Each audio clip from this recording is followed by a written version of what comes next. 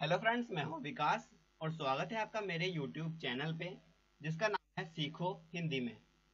आज की इस वीडियो में हम बात करने वाले हैं कि अगर आप भी अपना गूगल एडसेंस अकाउंट ओपन कर रहे हो और वहाँ पे आपको एक रेड लाइन देखने को मिल रही है, जहाँ पे लिखा हुआ है your payment are currently on hold because you have not verify your address तो मैं आपको बताने वाला हूँ कि क्या है।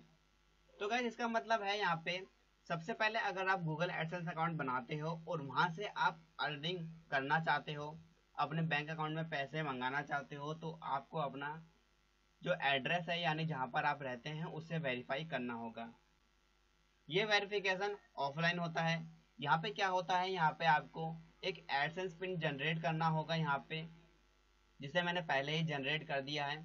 एडसेंस पिन जनरेट करने के बाद यहाँ पे आपके घर पे जो आपने एड्रेस दिया है, उस पे एक छह डिजिट का पिन आएगा, यानी जिसे हम पोस्ट कह सकते हैं वो। इंडियन पोस्ट ऑफ़िस के ज़रिए आएगा।